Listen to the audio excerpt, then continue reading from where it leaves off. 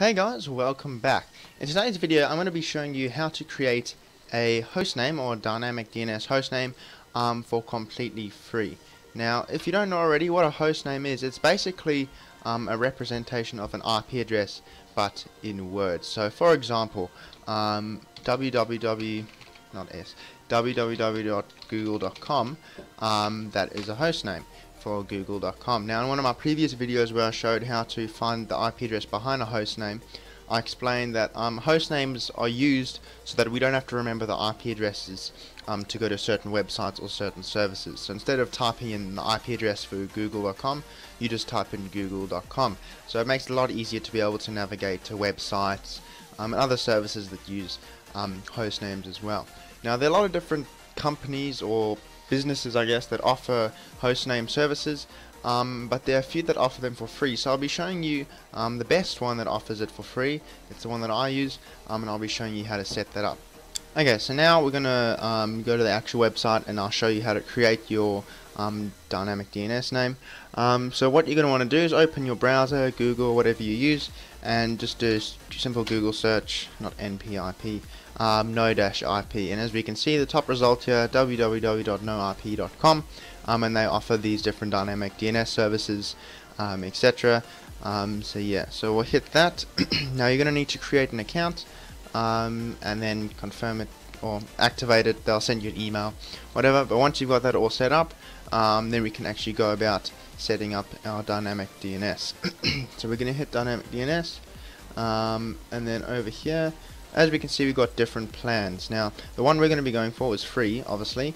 Um, and as we can see it has limitations obviously um, like us um, it's got limited domains limited um, number of host names that you can do and you have to confirm it every three, 30 days. So they'll send you an email every 30 days or so um, and they'll basically say are you still interested in it? Basically just stop um, people just creating them and then leaving them and not using them um, so we got that there. So I guess that's a small inconvenience, but it's not that much of a price to pay um, for the free service that they're offering.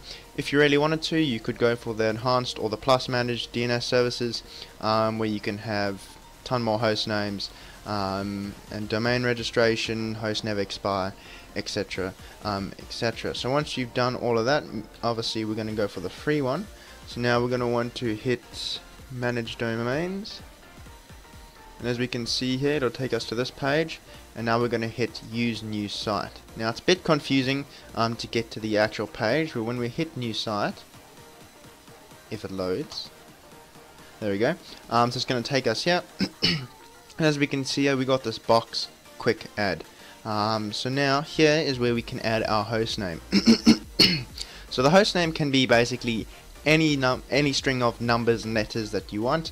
I believe it has a maximum of 19 um, characters, but you wouldn't want to make it too long anyway. So the domain, you have a couple to choose from here. Actually, quite a few to choose from here.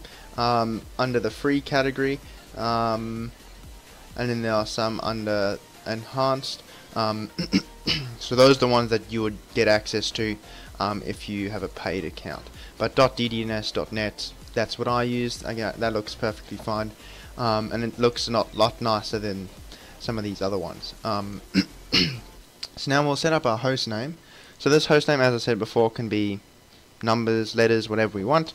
So if we go Celtic com, if I can spell this, Celtic Computers, um, .ddns.net, and then we're going to hit add host name.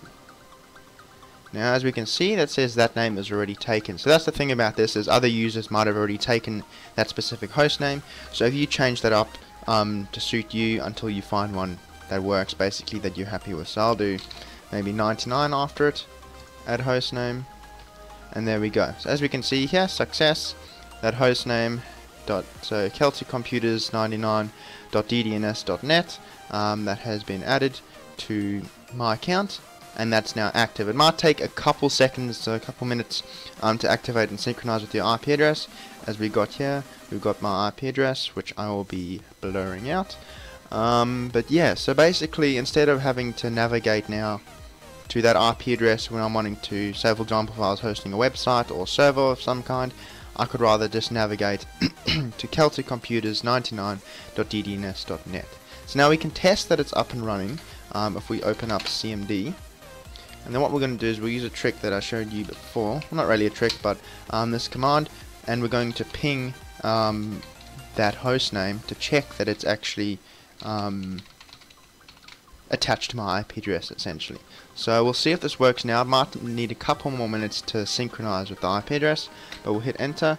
Um, so yeah, as we can see, that is not connected yet, so we shall tune back in when it is connected.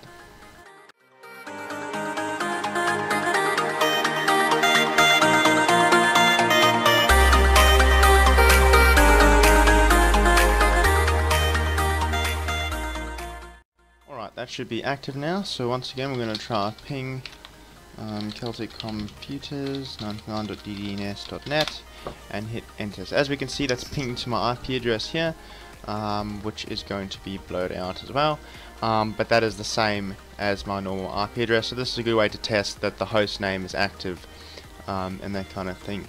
Now something that you need to be wary of is if your external IP address changes, some ISPs um, will change this monthly depending on what kind of internet plan you're on. Um, you're actually going to need to go into your router settings um, and a lot of modern routers, all of them in fact, should have um, the details regarding, um, or rather boxes to enter your details for whichever um, dynamic DNS service you use. And basically that's going to update, say for example no IP, it's going to tell no IP when that IP address changes and then no IP can change that for you. So as you can see here it's got my IP address um, and it needs to know my IP address in order to assign this host name to it. Um, so that's what dynamic DNS actually means. Um, I was just referring to it as DNS, dynamic DNS or DNS hostname.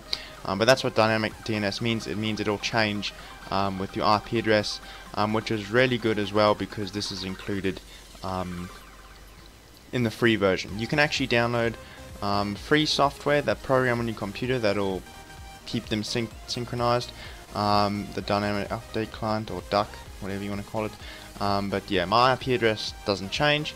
Um, so I don't have to use that. My old internet I did um, and that works really well because it will update as soon as your IP address changes it will update and tell no IP that your IP address has changed and then it can update that um, for the host name. So anyway guys, thank you very much for watching and I will catch you in the next video.